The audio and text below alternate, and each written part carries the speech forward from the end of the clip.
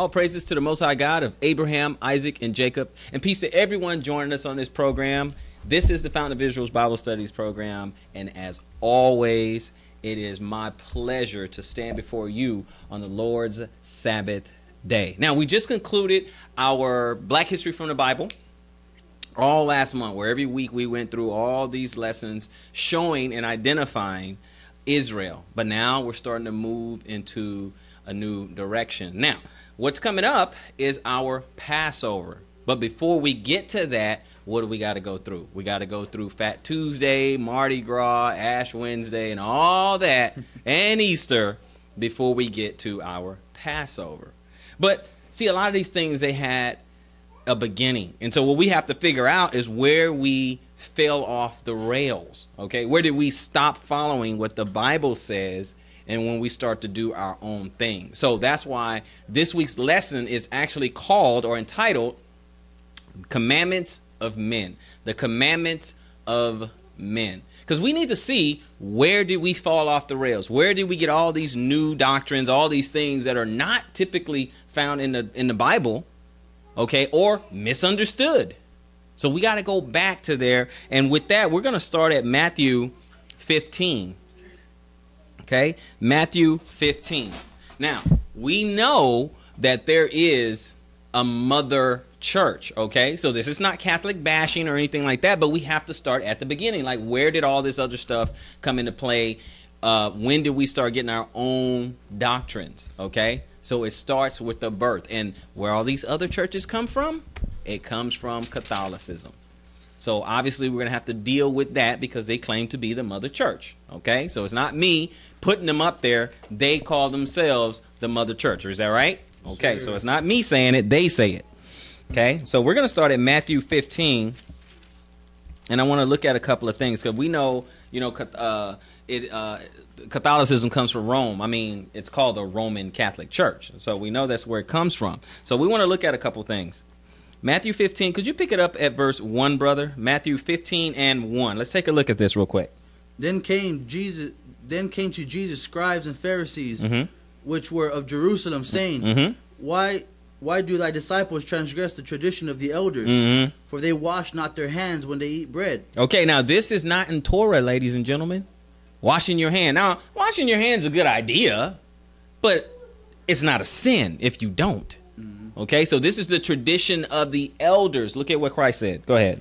But he answered and said unto them, Why do ye also transgress the commandment of God by your tradition? Mm-hmm. For God commanded, saying, Honor thy father and mother, mm-hmm. and he that curseth father or mother, let him die the death. Yep. But ye say, Whosoever shall say to his father or his mother, It is a gift, by whatsoever thou mightest be profited by me, mm-hmm. and honor not his father or his mother, mm-hmm. he shall be free. Thus have ye made the commandment of God of none effect by your tradition. Yeah, you know, we know Messiah tell us to go the extra mile, you know, if need be, and you know, to honor our mother and father. But some people just have this, well, I'm the son, I'm their son, I'm their daughter. That's thanks enough kind of thing. That's not enough, you know, honor. Okay, but that's not point that that we're not trying to. That's not the point we're trying to make. So we're going to go forward. Go ahead, brother. Ye hypocrites, well did Isaiah prophesy of you, mm-hmm. saying, mm-hmm. This people draweth nigh unto me with their mouth, mm-hmm. and honoreth me with their lips, mm-hmm. but their heart is far from me. It's a heart thing. Go verse nine. But in vain do, but in vain they do worship me, mm-hmm. teaching for doctrines the commandments of of men. Okay, now we're gonna that that's the scripture that we want to uh, talk about, the commandments of men because that has crept into our theology from day one. Now, he's talking about Talmudic type things when they try to add extra stuff to Torah or to ex- further explain it or to further expound on it, and it just goes off the rail, which is probably why the Most High said, Don't add, mm-hmm. don't take away, because it's going to get crazy. People are going to start adding whatever they want. So he's talking about Talmudic type stuff. But guess what? Another organization went, wanted to add things into the scripture and add things into into religion, and it, just falls off the. We don't. Christianity hardly teaches anything that the Bible says. That that's the problem.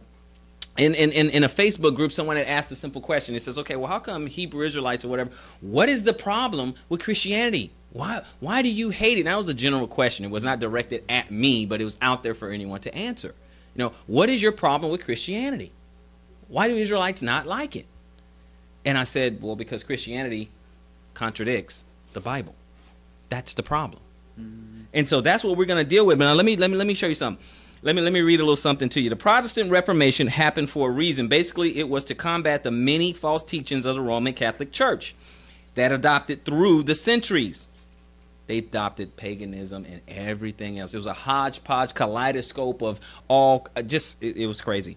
Okay, when Martin Luther compared the, uh, the the Catholicism to Scripture, that's what's important. You can compare you compare your religion or what you believe to Scripture. Okay, that's what we're supposed to do. When Martin Luther compared Catholicism to Scripture, the result was his nailing of the 95 Theses to the Wittenberg door. However, instead of reforming the Roman Catholic Church, it resulted in the protesters, the Protestants, okay, whose aim was to get back to the Scripture. Okay, Matt Slick wrote that. The aim was to get back to the Scriptures. Didn't necessarily happen. Okay, they get bits and pieces. You know, Roman Catholic Church they got a couple things because there are some. They'll say, okay, you got to keep the commandments, but they change what the commandments are. But they say, you know, you can, yeah, we should keep the commandments. Okay, they split the last two, nine, ten, throw one out. Well, they they drop four, split nine, ten, and now you still have ten. Okay, look at the Catholic Bible if you don't believe me. Okay, go right there to Exodus in the Catholic Bible and see if you see commandment number four in there. Okay. Now, let's look at the, cate- the, the, the catechisms, okay? In 2105, the Catholic Church is the one true church. That's what they say. They say we're the one true church, okay? In the Catholic Catechisms, 2105, the duty of offering God genuine worship concerns man both individually and socially. This is the traditional Catholic teaching on the moral duty of individuals and societies towards the true religion and the one church of Christ. But constantly evangelizing men, the church works by constantly evangelizing men. The church uh, works towards enabling them to infuse the Christian spirit into the mentality and more mores, laws, and structures of the community in which they live. The society, the societal, the social duty of Christians is to respect and awaken in each man the love of the true and the good. It requires them to make known the worship of the one true religion which subsists in the Catholic and Apostolic Church. Christians are called to be the light of the world. Thus, the church shows forth the kingship of Christ over all creation and, in particular, over human societies. Hmm, sounds nice. Okay, sounds nice. But the Roman Catholic Church being the one true church, is that really the one true church? Is that what the Bible says? The one true church comes from the Roman Catholic Church. And there was no church before Catholicism came about. That's the question. So go to Acts 7. Let's go to Acts 7. Acts chapter 7. Let's look at the actions of the apostles and see what it says at verse 37. Acts 7, verse 37. Okay, let's see if it started with Rome, okay, and the Catholic Church, or let's see where the church actually started. Acts 7 37. When you get that, brother, let the Bible speak. This is that Moses was said unto the children of Israel, mm-hmm. A prophet shall the Lord your God raise up unto you mm-hmm. of your brethren, mm-hmm. like unto me. Mm-hmm. Him shall ye hear. Mm-hmm. This is he that was in the church in the wilderness mm. with the angel which spake to him in the Mount Sinai. Whoa, whoa, whoa. He said, This is he that was in the what? In the church in the wilderness mm-hmm. with the angel which spake to him in Mount Sinai. Mm-hmm. And with our fathers who received the lively oracles to give unto us. The lively oracles, the word of God. So I'm sorry, the New Testament says the church started in the Old Testament, in the wilderness at Sinai. That's what it sounds like it's saying to me. Does that need interpretation? No, the church in the wilderness. It was referred to the church in the wilderness. That's to say assembly. That's to say congregation, right? Same thing. That's where it started, okay? Did not start with Rome. It wasn't a building. Exactly. It is not a building. It's an assembly of people. That's the church. An assembly of people. Okay? You can say church, you can say assembly, you can say congregation. All the same. Okay? Everything else is just buildings. All right? But we're not done. Let's go ahead to Romans 3 Okay, go to Romans chapter 3, and we're going to look at a couple of more things. We're going to jump around a little bit and look at some stuff. Okay, and let me get the first two verses Romans 3, and give me 1 and 2. Okay? Go ahead. Let's see if he's still dealing with his same church when it says over in Acts in 37, and it said, Moses, who said unto the children of Israel, and it said that was he that was in the church in the wilderness. Now, Romans 3, give me verse 1 and 2. What advantage then hath the Jew? Uh huh. Or what profit is there a circumcision? Mm hmm. Much every way, mm-hmm. chiefly because that unto them were committed the oracles of God. Okay, now didn't you just read in Acts 37 and 38 where it says, you know, who received the lively oracles to give unto us? Okay, so they were re- they received the word of God. They received what thus said the Lord. That's what we're talking about. Okay, so still important. They are still important, and they are still the church. Okay, New Testament. They are still the church, and Paul said it because I know there's a lot of Paul lights out there. Okay, so we got to look at this now. You guys go to Numbers 23, and I'll meet you guys there. Let me read this first. Infall- infallibility of the Catholic Church. The Catechism uh, 20 and 35. It said the supreme degree of participation in the authority of Christ is ensured by the charism of infall- infallibility. Okay, they cannot make a mistake. The Roman Catholic Church cannot be wrong on anything. Okay, they're infallible. This infallibility extends as far um, as does the deposit of divine revelation. It also extends to all those elements of doctrine, including morals, without which the saving truth of faith cannot be preserved, explained, or observed. You got to go to the Catholic Church to get your understanding. They hold the key to truth. They have they hold the key or the instructions in morality. And whatever they say, it cannot be wrong. Once they say it, it becomes true. Infallible. Period. Okay? This is what prompted Martin Luther to post his 95 Theses. You understand? That's the first thing that he challenged. He said, No, the Pope does make a mistake, can make a mistake. They are deviating from Scripture. That's why he posted it. Right? Yep. That's why you got the Protestants. Okay? That's what we understand. So at Numbers 23, read verse 19. Let me get just one verse. Verse 19. Numbers 23 and 19. God is not a man Mhm. that he should lie, Mm neither the Son of Man that he should repent. hmm. Mm Hath he said, and shall he not do it? hmm. Mm hmm. Or hath he spoken, and shall he not make it good? This is what it's all about. God's not gonna lie. He said he is in the Bible. When you read scripture, okay, when you go Brit Hadashah and Tanakh and Torah, he means what he says. And he says what he means. Okay? You don't need extra organizations to help you understand and do all these gymnastics. Just guide you through the scripture. That's what a teacher's supposed to do. Just guide you through the scripture and give you some understanding. And it just reveal it opens opens you up. Mm-hmm. You're like, you know what? Well, okay, well, that makes sense. That's what it says. That's what we're supposed to do. Go to Hebrews 6. And then we'll go back to Romans. Hebrews 6. Okay? Hebrews 6. Now, he just read in Numbers. It said, God is not a man that he should lie, neither the Son of Man that he should repent.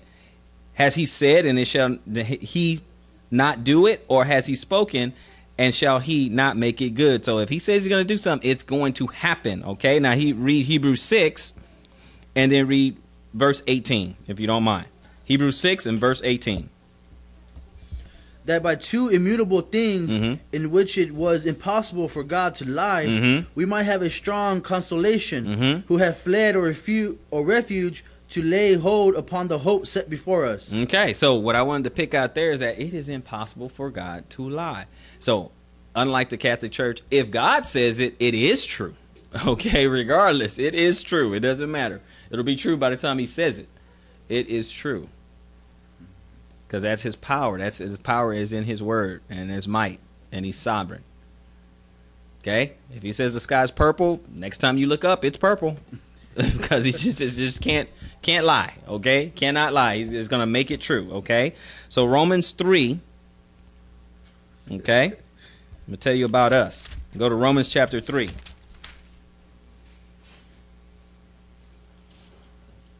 Okay? And you get Romans chapter 3, I just want one verse and then I'll read you a little something else. Romans 3, and give me uh, verse number 4, brother. Okay. God forbid, yea, let God be true, but every man a liar. Mhm. As it is written, that thou mightest be justified in they in thy sayings, and mightest overcome when thou art judged. Okay, so and the, the, what I wanted to pick out there was that you know let God be true and every man a liar because that that really is the bottom line there. Okay, it really is. But I'm gonna take you guys to uh Second Peter and one, and let me read something while you guys go there. Second Peter and one, and while you guys go there, let me read something. It says here another uh, bullet point here. Only the Roman Catholic Church has the authority to interpret Scripture.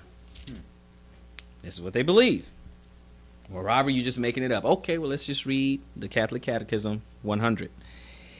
The task of interpreting the Word of God authentically has been entrusted solely to the magisterium of the church. That is, to the Pope and to the bishops in communion with him. That's it. So it should change with the Pope. Hmm? It can change with the Pope, yeah. But that's who that that's who gives you understanding. That's the guy who says, "Well, what about when the Bible says this? Oh, you don't understand. Let me tell you what that means." That's what the Pope can do. Isn't he called Holy Father? Right? I mean, that's what they call him, right? Yep. The Vicar of Christ. Oh, blasphemy. Yeah. There's a lot of blasphemy. Yeah. So this organization or this person in position is the only one who can interpret scripture. The task of interpreting the word of God authentically has been entrusted solely to the magisterium of the church. That's what it says. Now, let's look at Second Peter and 1 and give me verses 20 and 21. 2 Peter 1, 20 and 21. For if after they have escaped No, the no. pollutions of the world, No, Second Peter, Second Peter chapter 1. Second Peter, sorry. Mhm. chapter one, Mhm. and verse what? And verse 20. 2 Peter chapter 1 verse Oh, 20. Okay. Knowing this first, that no prophecy of Scripture is of any private interpretation. Mhm. For the prophecy came not in old time by the will of man, Mhm. but holy men of God spake as they were moved by the Holy Ghost. Peter said that. See? Peter says that. We don't have a private interpretation. Come let us reason together. We should be able to figure this thing out. Because there's no private interpretation. In fact, all this stuff that is written, it is written by holy men as they were moved by the Holy Ghost. Okay? Now, you guys are going to uh, go to Isaiah 42, and I'm going to read a little something while you guys there. Okay? Got some travel music as you go to the next scripture. all right, here. So, it says here, the Pope is the head of the church and has the authority of Christ. That's what it means, the, the vicar of Christ. You know, he's a representative on earth, the representative of Christ right here on earth. Okay? The Pope is the head of the church and has the authority of Christ. Catholic Catechisms 20 and 34. It says the Roman pontiff and the bishops are authentic teachers. That is, teachers endowed with the authority of Christ, who preach the faith to the people entrusted to them, the faith to be believed and put into practice. The ordinary and universal magisterium of the Pope and the bishops in communion with him teach the faithful the truth to believe, the charity to practice, the beatitude to hope for. All goes through the Roman Catholic Church. So when they start to come up with different things that they may think is a good idea, they put it into practice. They tell you that's what you follow. But you see how you can kind of go off trail, off track a little bit at any time mm-hmm. because they just There's no make foundation. yeah. There's no yeah. There's no solid foundation. We're I'm I'm representing Christ on earth. See, we're supposed to be representing the Word and what it says. Don't change it. Don't add. Don't take away. Don't change it. How it should be. But I'm representing Christ on earth and all that. And I understand being a Christian, being a Christ follower, being an ambassador and all that, but you're still supposed to represent the word. When you start talking in your behavior, you should be representing Christ. Okay? When you start talking, you should be representing the word. What does it say?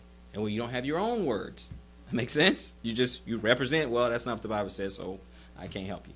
Or this is what the Bible says. Don't get mad at me, I'm just telling you what it says. You know, that kind of thing. Don't because if the if, if the scripture says that we are going to have to give an account for every idle word we speak, would it not behoove us to stick close to the scripture as possible? Would that not be? But people want to do their own thing. They get puffed up. That's why we do so much scripture reading. Reading, so you don't get a whole lot of Robert, whole lot of readisms. You don't get a whole lot of that. You get a very little of that. A lot of scripture, a little bit of, you know, what I did on my vacation. Okay, that's on break. Okay, that's not in the teaching. That's on the break. Okay, so I said Isaiah. So go to Isaiah 42.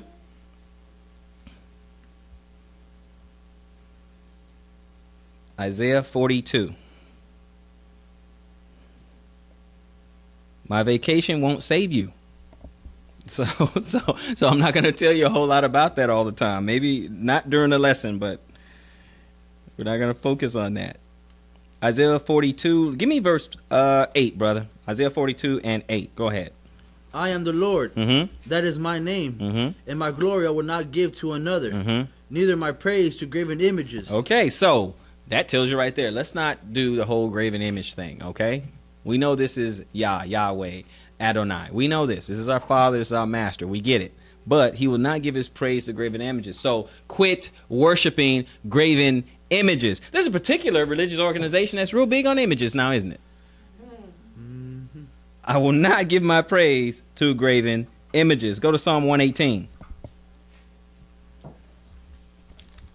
Okay, the Bible talks about graven images, graven images, graven images. Man, if you do a word search, graven images, it'll come up a lot. So the Bible don't want you to do this whole graven images thing, whether it be a cross, whether it be the picture of Christ, any of that. We have got to learn to give that a rest. But when you go into the Catholic Church, what do you see? It is replete with graven images. Okay, so which is why they don't really teach much on idolatry. Psalm 118. Give me verse 22, brother. The stone which the builders refused is become the headstone of the corner. Okay, the whole he, meaning Yeshua, Jesus, the Christ, is the foundation. He's the head corner. Is a whole foundation what all this is built on. He's the aim of why you're doing Torah, you know, the Torah and Tanakh and all that. He's the whole reason for the whole thing. The one that is rejected, okay, the one that the builders refused became the head of the very one you got put to death is the very foundation of everything that you're supposed to be believing. And you did away with them you have no foundation, it's real hard for your house to stand, right? So we're gonna look at Acts four, and then I'll read some other stuff for you real quick. Acts chapter four. Acts chapter four. Okay. And and, and I want to read this to back up what I just said. Okay. Acts four, and give me verse ten. Acts chapter four, verse ten. Go ahead, brother. Be it known unto you all and to all the people of Israel that by the name of Jesus Christ of Nazareth, whom ye crucified, whom God raised from the dead, even by him doth this man stand here before you whole. Mm-hmm. This is the stone which was set at the mount. At, At naught. sorry, this is the stone which was set at naught of you builders, Mhm. which has become the head of the corner. Okay, the very person you got put to death, this is the key right here. This is the foundation. Okay, this is a whole foundation here. Now, we're going to go to back to uh, Matthew uh, 15, chapter 15, but let me read something while you guys are on your way back to Matthew chapter 15. Okay, Matthew 15. Now, it says sacred tradition is equal to scripture. Sacred tr- tradition is equal to scripture. I don't know if you guys heard me. Sacred tradition is equal to scripture. That's what it says. Okay, Catholic Catechism, okay, 82. It says, The church, to whom the transmission and interpretation of revelation is entrusted, does not derive her certainty about all revealed truth from the Holy Scriptures alone. Hmm. We don't get all our truth from the Holy Scriptures alone. Both Scripture and tradition must be accepted and honored with equal sentiments of devotion and reverence. Both the Holy Bible and the Scriptures, okay, and our traditions must go together and you show it the same amount of respect. Wow. It's equal. This is in their catechisms. Okay? It says both scripture and tradition must be accepted and honored with equal sentiments of devotion and reverence. Same amount of respect. So we come up with a tradition, you need to respect that. So when you Ash Wednesday, even though, you know, not in the Bible, but you need the same amount of respect. And you got a lot of people. It says devotion and reverence. Have you not seen people with the ash on their forehead? Yeah, they got devotion there and reverence. Why do you do it? Because you know my, the Holy Father told, you know, it's Ash Wednesday. You know, I got to get Fat Tuesday off me. you know, that's fun. You know, the Mardi Gras and stuff. I got to get rid of that. So the tradition, correct me if I'm wrong. The tradition with Mardi Gras, Fat Tuesday, whatever, just basically have all the debauchery you want, right? And then repent and then you go into Lent. I mean, is that about right? You go into Lent. Okay, well, I'm gonna give something up. I'm gonna give up some chocolate, and I'm gonna give up, you know, meat or whatever. That's why they go with fish on Fridays and stuff like fish sandwiches. Yeah, just stuff like that. Just you know, you know, you know. I had to purge myself, and now I'm just gonna, you know, I'm gonna give up chocolate covered pretzels. I'm gonna give up something to make everything. Yeah, and that's my uh, that's my uh, my penance. Yeah, yeah. I'm gonna get yeah. I'm gonna, yeah. I'm gonna give up Brussels sprouts, beets. You know, you know. It's like the kids say, I'm, I'm gonna give up vegetables. Uh, yeah, they don't really care about that. they don't really care about that, but okay. Matthew 15. We're going to get some more of this. Matthew 15, and let's get the first three verses in Matthew 15, brother. We're going to just kind of revisit this real quick, and I want to look at something. Go ahead. Then came to Jesus scribes and Pharisees, mm-hmm. which were of Jerusalem, saying, mm-hmm. Why do thy disciples transgress the tradition of the elders? Mm-hmm. For they wash not their hands when they eat bread. Mm-hmm. But he answered and said unto them, why do ye also transgress the commandment of God by your tradition? Okay, so we, I wanted to revisit that so you guys can, so we can get back you know on the same page with that. But remember all the things that I said, you know, your fat Tuesdays, your ash Wednesdays, your Lent and all that, none of that in the Bible. So where does it come from? Tradition. It's not in the Bible. You don't find it in the Bible. Now, here's a couple of things in the, the, the Catholic catechisms. In 20 and 36, okay, 20 2036. Okay, the specific precepts of the natural law, because their observance uh, demanded by the Creator is necessary for salvation. Okay, so they're, they're they're they're blending, you know, faith and works. You need both of those. That's good. That's good. No argument here. Catechisms 20 and 80. The Decalogue contains a privileged expression of the natural law. Okay. It is made known to us by divine revelation and by human reason. Okay, so he's talking about those laws of Moses. Catechisms uh, 20 and 68. So that all men may attain salvation through faith, check. Baptism, check. And observance of the commandments, check. I agree. I agree with that. Okay. Then two, full benefit of salvation is only through the Roman Catholic Church. Okay. But now to get the whole thing to finish it because he can they can say okay faith baptism and keep the commandments right mm-hmm. but you're not done yet okay so for for it is only okay this was they wrote okay in the vatican ii decree uh, on ecumenism okay it says for it is only through christ christ's mm-hmm. catholic church which is the all embracing means of salvation that they can benefit fully from the means of salvation. So you got to go through the Catholic Church to really get the final step to salvation. You can be baptized, you can keep the commandments, you can have faith and all that, but it's got to come through the Catholic Church because Christ owns that church. But even Peter, even Peter tells those guys, Hmm? what, what, what, must we do to be baptized in the name of Jesus? That's what he says. Yeah. I think I think he added repent, right? Repent Yeah, and be baptized yeah. in the name of Jesus. Well, Yeah. repent is following the law. Exa- exactly, exactly.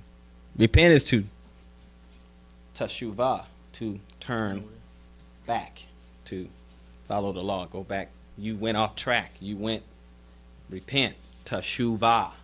Mhm. So I, this is what happens when you get off track and tradition takes over.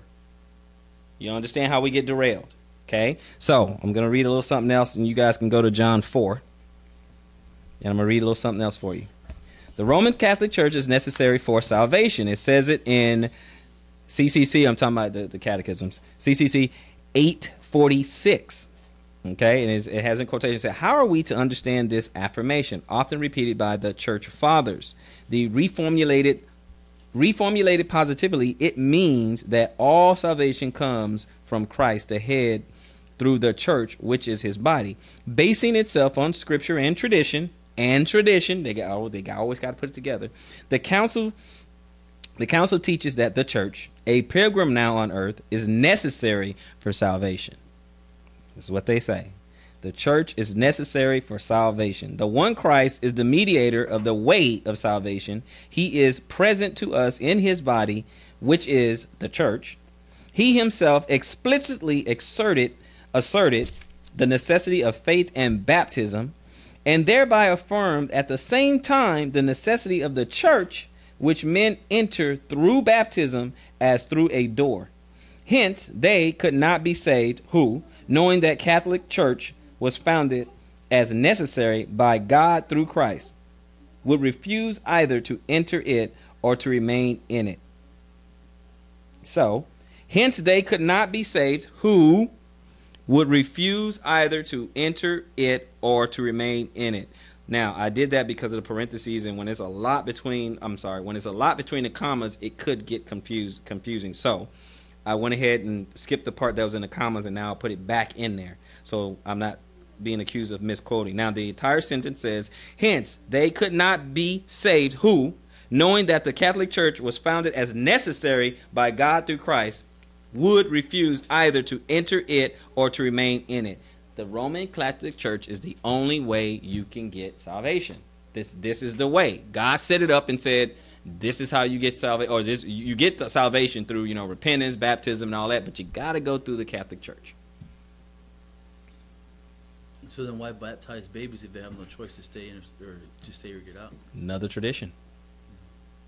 See, baptism is a choice that you're making. Mm-hmm. So baptizing your children doesn't make any sense. They don't know what choice they're making. They're not making a choice at all.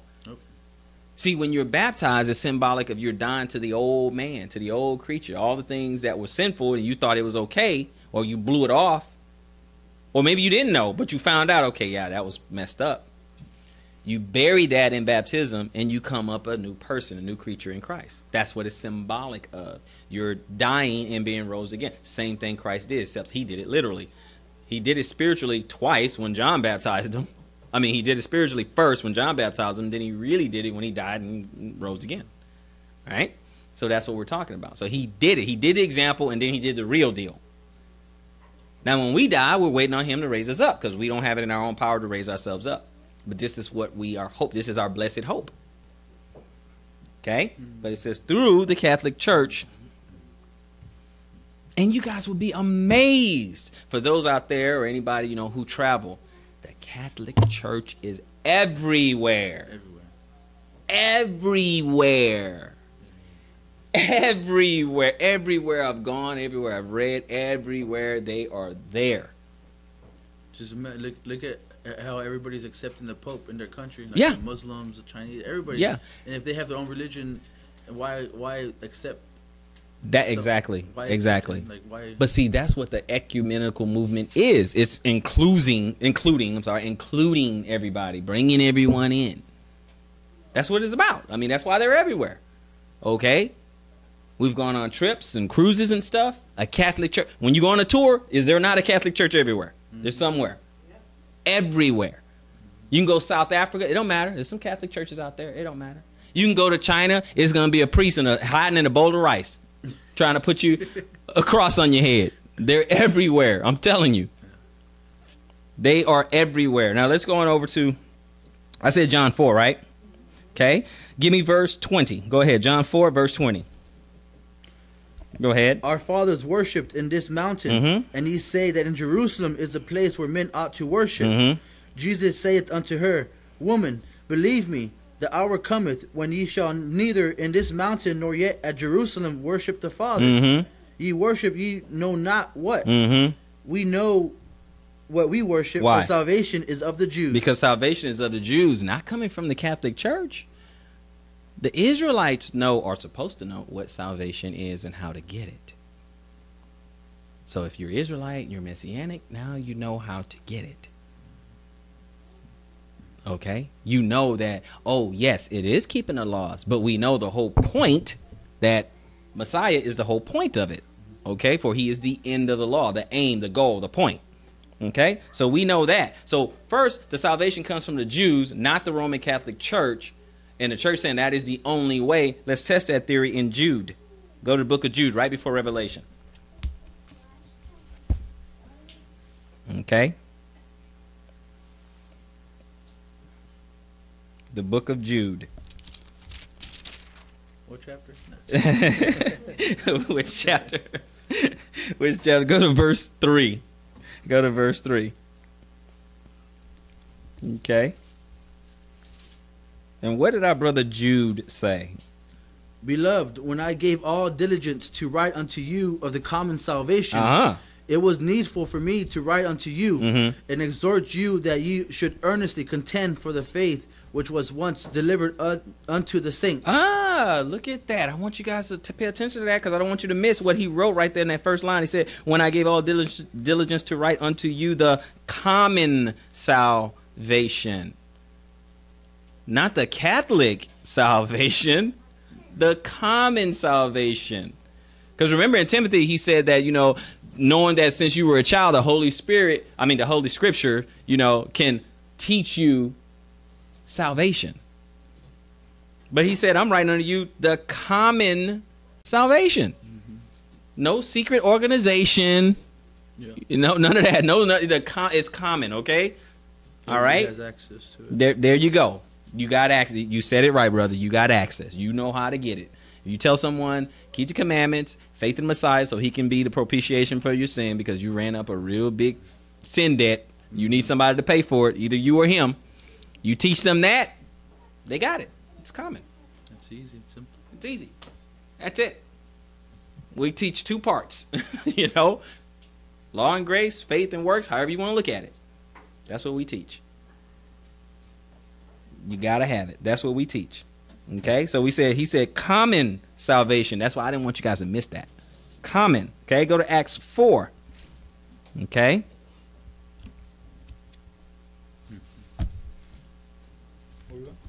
Acts chapter 4.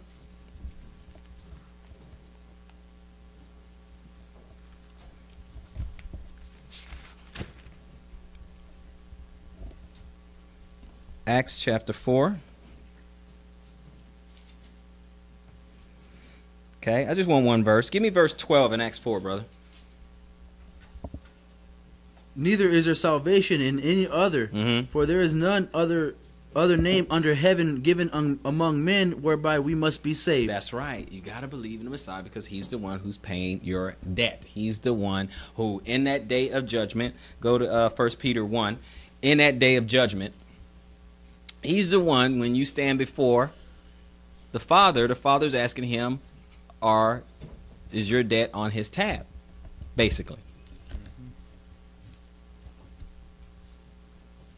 Because it's one or two things, brothers and sisters. I can tell you that right now. It's going to be one or two things. It's going to be, well done, thou good and faithful servant, on the one hand. Or on the other hand, it's going to be, depart from me, ye workers of iniquity. That's the, not my words, right? You can find that right there in the Bible. That's what you're going to get. That's that's going to be the option. Either you're with them or you're not. That's what it's going to be. It's not going to be anyone straddling the fence. I don't know. I don't. You made your decision. You, I don't know. You made your decision. Because didn't he? Didn't the scripture also said he didn't want you to be lukewarm? I'd rather you hot or cold, because I'm gonna spit you out of my mouth. So you're either gonna hear, "Well done, thou good and faithful servant," or "Depart from me, ye workers of iniquity. I never knew you." And now it's going to be time for some big angel to grab you by the scruff of your neck and throw you in the fire. No, there must have been a mistake. No, no, no mistake. You're out of here. You're done. It's over. Okay, so let's go to 1 Peter 1. 1 Peter 1. And give me verse 8, brother. 1 Peter 1, give me verse 8. Whom having not seen ye love, and whom though now you see him not, Mhm. yet believing, ye rejoice with joy unspeakable and full of glory, Yeah. receiving the end of your faith, Mhm. even the salvation of your soul. That's what is all. This is the end. Why are you believing? The end of your faith is salvation. The salvation of your soul to raise you back up. The salvation of your soul. This the the new body. That's what it's saying. Receiving the end of your faith. See, Christ is the end of the law. The end of your faith. You're saying your your now your faith runs out? No, mm. it's the end of your faith. The whole point of your faith is the salvation of your soul, so that you get woke wake back up that he wakes you up, that you hear that voice out of the grave. Everybody coming up, but you just want to come up in the first one, hmm. the first time. Some, as Daniel would say, some to everlasting life, and to others condemnation. Two resurrections. That's what we're looking for. We're following the Bible. That's what it says. We're just following the Bible. So it says, receiving the end of your faith, even the salvation of your souls. One more place, and then I'm going to read you some more stuff. Go to Psalm 62 for me. Psalm 62. And I just want one verse.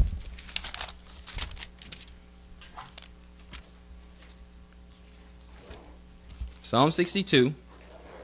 Now, just one one verse. I just want to co- one more comment on this salvation thing, and then we'll move on. Salvation, uh, Psalm 62 or, or Tehillim 62 and verse one. That's all I want. Go ahead, 62 and one. Truly my soul waiteth upon God. Mm-hmm. From him cometh my salvation. Okay, we said the salvation, even, uh, even the salvation of your souls, He, even the salvation of your souls. Okay, he only is my rock. Yeah. that's it. I like the next verse. Exactly. What does the next verse say, brother? He only is my rock and Mhm. my salvation. That's what we're talking about. He is my defense. I shall not be greatly moved. This, it, ladies and gentlemen, this is what you're waiting on. This is what your this is what your hope is in. This is what your faith is in. Okay? This is what you're waiting on. Yeah. This is not tradition. This is scripture right here. Okay? So now, we know also the, the Roman Catholic Church teaches purgatory. We don't find purgatory in the Bible. No. Sounds like tradition, right? If it's not in the Bible, then it's just a man made tradition. Right? The only place you're waiting is in the ground. yeah. That's all you're waiting for. That's what we're talking about. We're gonna, we, but I'm gonna read a little bit of that. You guys go to Genesis two for me. Okay. Now it doesn't. I. You can look all you want. You just don't see purgatory in there. Okay. It's just. Uh, I'm sorry. It, it- it's just not there. But here we go. In 1031, the Catechism's 1031. The church gives the name purgatory to this final purification of the elect, which is entirely different from the punishment of the damned. The church formulated her doctrine of faith on purgatory, especially at the Council of Florence and Trent. So we so we didn't get it from the Bible. We they formulated her doctrine of faith on purgatory, especially at the councils of Florence and Trent. So they decided that there's a purgatory. I, that's what it says. Okay? The church formulated her doctrine of faith on purgatory, especially at the councils of Florence and Trent. The tradition of the church by the reference to certain texts of scriptures, speaking of a cleansing fire. So they take that, they say, okay, well, the Bible talks about the cleansing fire, that must be purgatory. No. No. No, not that. Okay. Um 1475 1475 in the communion of the saints a perennial link of charity exists between the faithful who have already reached their heavenly home those who are expiating their sins in purgatory okay so they're trying to pay that penance there and those who are still pilgrims on the earth between them there is two an abundant exchange of all good things in this wonderful exchange, the holiness of one profits others, well beyond the harm that sin of one could cause others. Thus, recourse to the communion of saints, let the contrite sinner be more promptly and efficaciously purified of the punishments for sin. I mean, you have time, like if you have a loved one who is dead, they're sitting in purgatory, you can kind of help them, you can kind of pay for things, you know, pay to church and pray and do some Hail Marys and all kinds of things to kind of help them when they transition from purgatory, they can go to hell or they can go to hellfire. I mean, they can go to heaven or hellfire. But you can kind of help the process. Kind of a waiting room. Okay? That's ba- basically what they're talking about. But let's see what we do got coming. Let's see how we wait. Okay? So you got Genesis 2 Go to verse 7 real quick. Let's take a look at something real quick. Genesis 2 and 7. And when you get there, brother, go ahead and read. And the Lord God formed man of the dust of the ground uh-huh. and breathed into his nostrils the breath of life. Yes. And man became a living soul. Became a living what? Soul. Okay, he became a living soul. Now watch this. Genesis 3. Go to chapter 3, brother. Sure. Okay, let's see. Let's see what he said uh, was going to happen to Adam because when he made man, that was Adam, right? Yep. Let's see what happened in chapter 3, read verse 19. In the sweat of thy face shalt thou eat bread, mm-hmm. till thou return unto the ground. Mm-hmm. For out of it wast thou taken, mm-hmm. for dust thou art, and unto dust shalt thou return. I thought you returned to heaven. No, sir. It, it doesn't say that, right? Nope. Okay, so so so to assume that he turns to heaven is speculation. Okay, we we uh, are we saying he was in heaven before he was formed in the dust of the ground? We don't know that. Bible doesn't say that. So that's just conjecture. That's speculation, right? Even Jesus we, waited three days to go to heaven. Yeah. yeah. Brother said even Jesus waited three days, but the rest of us we go. We go straight. Yeah, we go. We get the express lane. Yeah, the one with no sin got to wait three days. Well, we we got to check you out, Jesus. but but we finna let Frank and Leroy in right now, immediately. Peter, we got, Peter yeah. Well, I don't know what they, um, Lord, what people believe in. Peter's waiting by the gate. Yeah, Peter. Yeah, Peter's at the gates. He at the gates and stuff. The Jesus they got to check out. Wait a minute. Wait a minute. What what you say your name was again? You sure? Hold on. Let me see if we on the list. Let me see. Let Keisha in. Keisha, come on. Come on. It's, it's okay. Come on. Come on. Maria, you good. Let's go. Jesus, sit right there. Get to you in a minute. so let's go to Ecclesiastes 12 real quick. Let's go to Ecclesiastes 12. in the sweat of thy face, he said in Genesis 3 and 19 to Adam, he says, in the sweat of thy face shall thou eat bread. Okay, I mean you're gonna work for it. You're gonna work for your food till thou return unto the ground. Okay, ground. Mm-hmm. All right. For out of it was thou taken. You were taken from the ground. Okay? For dust thou art, you are dirt, and unto dust shall thou return. That's what it says, right? Why make up anything? Why add anything to that? Let's just leave it right right there. Let's just leave it right there. Ecclesiastes 12 and 7. Let's see what else happens. Go ahead. 12 and 7. Go ahead, brother. Then shall the dust return to the earth as it was, mm-hmm. and his spirit shall return unto God who gave it. Oh, because uh, God breathed in his nostrils in the first place, right? Yep. And that breath goes right back. Real simple. Go to chapter 3 in Ecclesiastes, brother. Do that for me.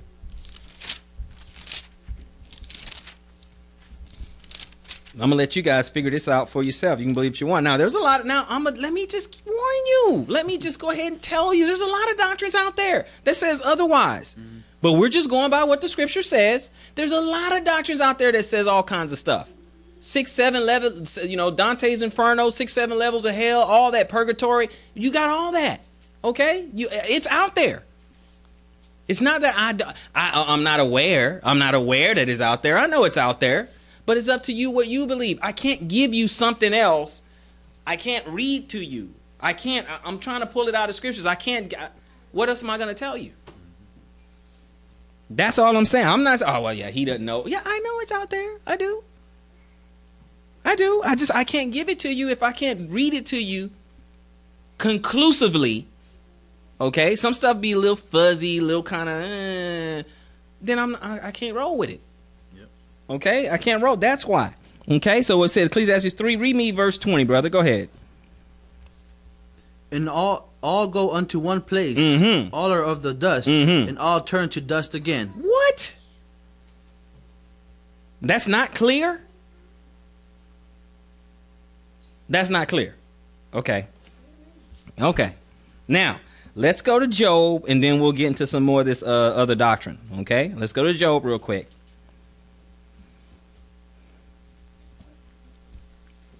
Because, yes, people are going to go over to the Witch of Endor and say, yeah, she she called up, you know, Samuel and all that. I, yeah, I get it. I know. I know. I get it. I get it. I get it. That's not what this lesson is about. So that's why I'm not getting into it right now. But I get it. I get it. Job 14, brother. Job 14, and I want to get it at verse 13. Let's take a look at this. Job 14, 13. Oh, that thou wouldest hide me in the grave. Why not hide me in heaven? Oh, that thou would hide me in the grave. Uh huh. That thou wouldest keep me secret Uh-huh. until thy wrath be past. Okay. That thou wouldest appoint me a set time Uh-huh. and remember me. Okay, I wonder what he's want to be remembered for. We, when what does it mean? What does he mean when he say and remember me? Okay, let's look at it. Verse fourteen. Go ahead. If a man die, shall he live again? He asked the question: If a man die, shall he live again? So we fit to find out what does it mean to remember me. Go ahead, brother. All the days of my appointed time will I wait Mhm. till my change comes. So Job knew something about a resurrection, didn't he? Yes, sir. He asked the question: If a man die, shall he live again? Shall a man die and rise again? Obviously, he knew something. Yeah. Otherwise, that's a real strange question to ask. Okay? Oh, that thou wouldest hide me in the grave. Why not? Why? Oh, would thou just take me on up to heaven? How come he didn't? wh- Come on. Of all the things you can ask, if you knew you had the option of the grave or heaven, what are you going to ask for? If you thought heaven was an option, you're going to ask for heaven. Yes. Does that at least make sense?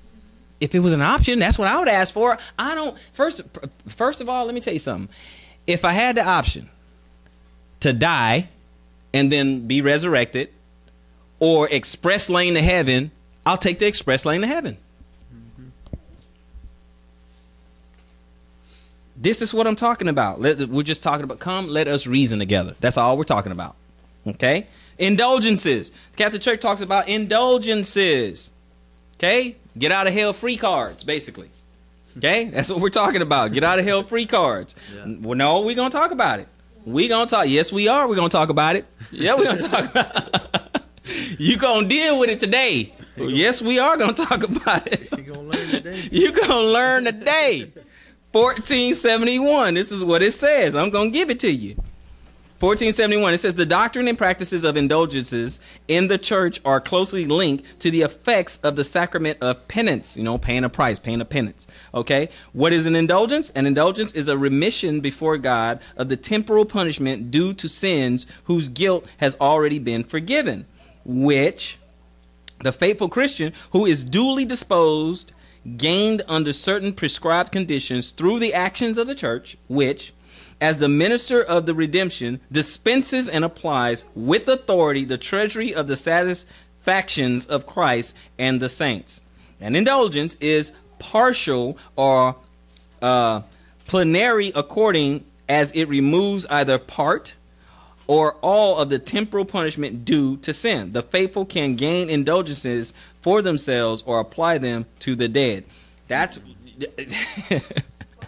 yeah. Let, let me shorten that because I know that was really verbose. Basically, give you an example. I got to go back to when I was taking those Bible college courses and how they explained it. In cemetery? Mean, Yeah, yeah, yeah, yeah, and, and yeah, yeah, yeah. In, in Bible cemetery, sem- seminary, seminary, seminary. Um, and what it basically what it says is, let's say, I'll give you an example. Let's say the church wants you to do something against your conscience, against your constitution. You say, man, that's wrong. I don't think I want to do do that. Because like if you went to go take over a land or whatever, sometimes they'll be like, kill up everybody. And you say, well, even the women and children, even the women and children. Oh my God, you know, God's going to punish me. No, he won't. And he give you a get out of hell free card. Oh, just do this, just do that. You're 10 Hail Marys, um, put some water, bless some water over you, whatever, or pay this, pay that, whatever and you don't have to worry about it. It's an indulgence. It's you're free to sin. It's already forgiven. I've forgiven you already. Don't worry about it. That's an indulgence. Like, for instance, if someone says, "Okay, you have you do have options or whatever," and they say, "Okay," or uh, or let's say I'll, I'll put me in that light, a negative light. This is a negative light, and you go over there, go to the buffet, you go to the buffet and everything, and it's like a whole bunch of pork and stuff like that. And I say, well, it's okay. Go ahead and eat the pork. It's okay. You're already forgiven. You know, I'll go in my prayer closet, pray for you, whatever. Wave my hand over your head, do something fancy, do some theatrics or something, some fireworks, you know, and then you're forgiven. Don't worry about it. It's an indulgence. It's a license to temporarily sin. sin. It's like having the Catholics having like assassins or something like that, you know, because you had crusades, you had stuff. They had, you know, they had agents, but you have something all everything they do is forgiven. It's okay. It's an indulgence. You understand? It's an indulgence. That's what it is. It says you already dispenses and applies with the authority the treasury of the satisfactions of Christ and the saints. It's like, okay, Christ already approves of this. Okay, it's okay. You go ahead. You go ahead and do. I I got you covered. Okay, I'm in good with Christ and the saints. Don't worry about it. I got this. You're covered.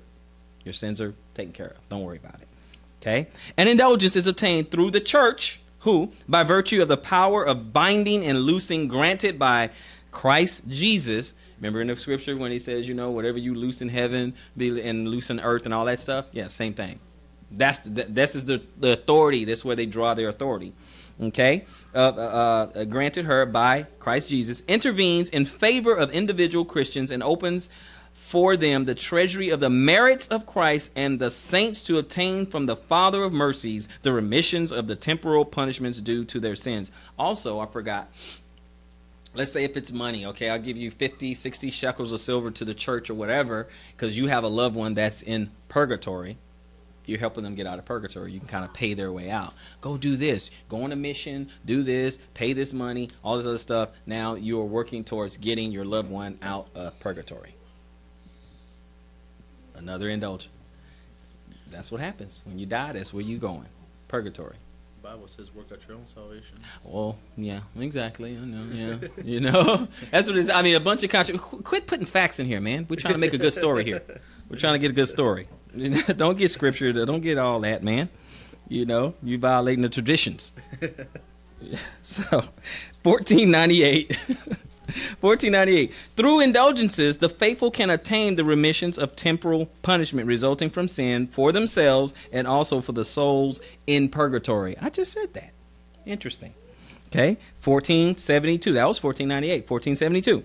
On the other hand, every sin, even venial, entails an unhealthy attachment to creatures, which must be purified either here on earth or after death in the state called which is purgatory. Okay, so it doesn't matter. All these sins need to be accounted for. Okay, so there's there's purgatory, and you guys need to start paying penance uh, to get that squared away. I may be trying to pay penance or whatever right now, but if I die prematurely, then I need one of you guys to kind of keep paying the Catholic Church so that I make it out of hell's waiting room, which is purgatory. Okay, so that's that. That's what we got to do. so that, that that's what we have to do there. You know, family, I am going to stop right there and we're going to kick back up with part two of the commandments of men. And I wanted everyone to see how we get off the rails, how everything just kind of falls off the rails because of man's tradition, because of some extra stuff that they want to do. I've had conversations before where I was like, you know what? We got the 613, we got the Tanakh and all that other stuff, and we don't even get that right. Why are we adding more to our plate? We got enough to contend with. Would you agree? We got enough we got to deal with. You want to add some more to it? It makes no sense to me. So this has been part one of the commandments of men. Join us for part two, and until next time, search the scriptures and prove all things.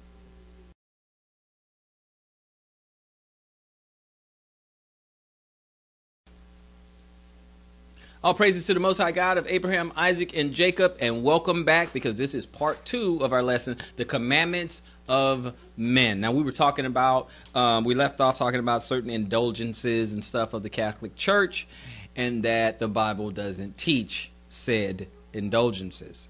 Uh, in fact, that's just not how it works. Every man will. Uh, you know, pay for his own sins. Uh, as my reader, uh, the brother was saying that, you know, work out your own salvation with fear and trembling. And that's indeed what we have to do. We have to work out our own salvation while we are alive. Why? Because when you're dead, the, do- the dead know not anything. Nothing's happening. okay, so you got to work it out while there is still time, while we are still here. Now we're going to open up this part two of our commandments of men over in Second Peter two. Okay, Second Peter two. Now again, this is not an attack on the Roman Catholic faith. Okay, it's it's it's really not. But we are dealing with it because if we're dealing with the commandments of men and we're talking about church and we're talking about religion and all that, you got to understand where certain things come from. And then you can trace back and say, okay, where, where, where and when did we fall off the rail? When did we get off the path? Okay, so that's why we're dealing with that, especially with particular man-made holidays coming up. I mean, um, we have obviously for us as believers, we have Passover coming up. But for non believers, they have Easter coming up. So we need to set the stage, set the foundation, you know, as uh, as we go forward, because we're going to no- notice that there's going to be a split in the path as we go forward. If we don't address these traditions, some of us are going to go towards Passover, which is found in the Bible, and some of us are going to go towards Easter, which is pagan. So we're gonna deal with that. Does that make sense? So Second Peter two, and I want to pick it up at verse one. We're gonna go Second Peter two, and verse one. When you get there, brother, let the Bible speak. But there were false prophets also among the people, even as there shall be false teachers among you, Mhm. who privily shall bring in damnable heresies, Mhm. even denying the Lord that bought them, and bring upon themselves swift destruction. See, so when you bring in when you bring in these damnable heresies, it will bring to you swift destruction. You and the person bringing the damnable heresy. If you believe in some some damnable heresy, okay, then that's going to be on you. So false doctrine can get you cut off if you believe it and practice it. False doctrine can hurt you. Okay? Bringing in damnable heresies. Even denying the Lord that bought you. Now, he did pay for your sins. So when you have some of us that, that are in the faith, we have Tanakh only Hebrews or whatever. They are denying the one person who can pay for their sins.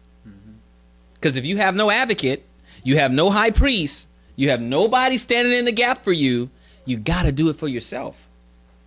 That's Old Testament. and you gotta be a Levi. Yeah, yeah. So you don't have exactly. We're under the Melchizedek priesthood now. Thank y'all for that. We're under this particular Melchizedek priesthood now, and not the Levitical priesthood, but you have those who deny Christ,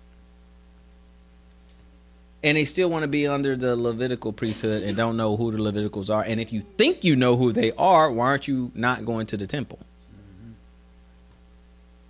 Why are you not letting them sprinkle hyssop on you and slaughtering lambs? Why aren't you once a year letting him put all your sins on the live goat and let him run off into the wilderness and slaughter the other one? Why are we not doing all these things? So you need to thank Yah that you are under the Melchizedek priesthood, okay, and it's done, offering his body once and for all, and he don't have to keep doing that. You should you be thank God for that. But again, the point is, even denying the one that bought him, he is like John said, "Behold, the Lamb of God, the one who take away the sins of the world." We should be happy about that.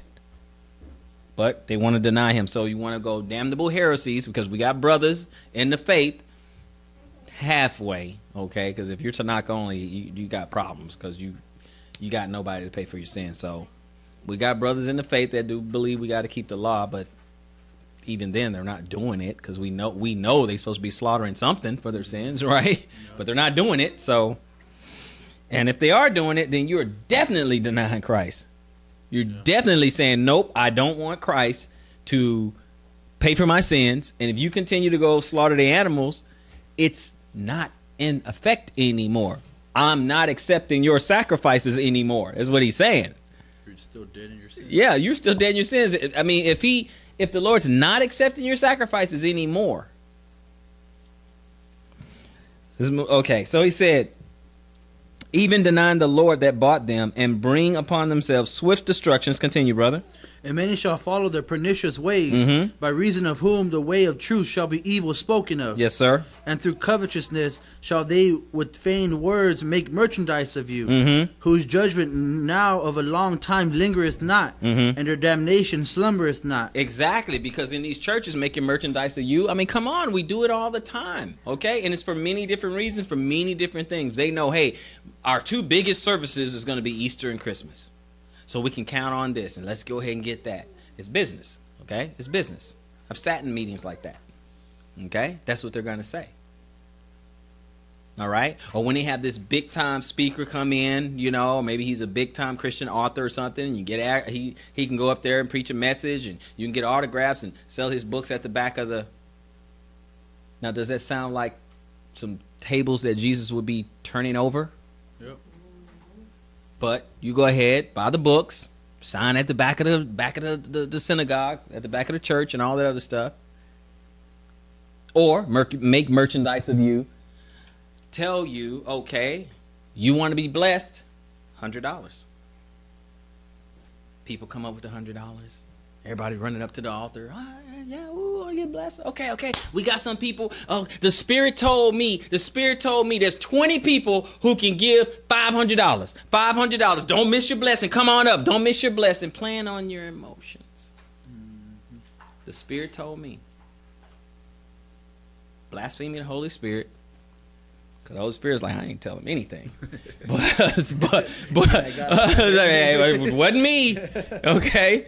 Well, I didn't say nothing, but you know, he still told told me. Oh, and then they upped the ante.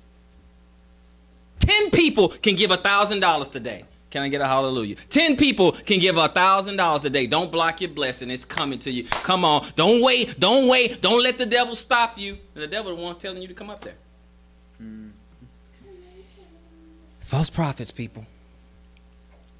False prophets. Making merchandise of you.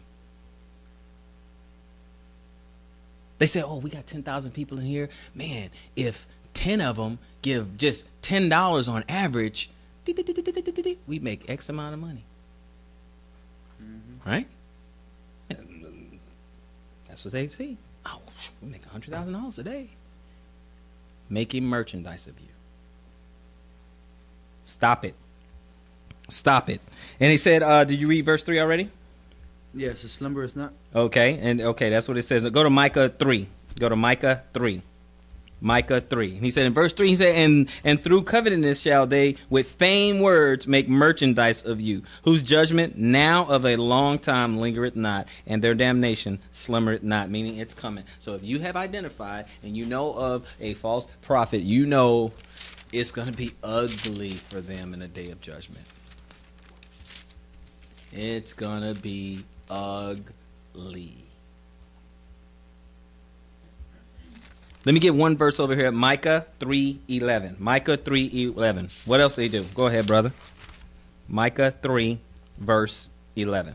The heads thereof judge for reward, Mhm. and the priests thereof teach for hire, Yep. And the prophets thereof divine for money. Mhm. Yet will they lean upon the Lord Mhm. and say, It is not the Lord among us. Mhm. None evil can come upon us." I'm a blessed man.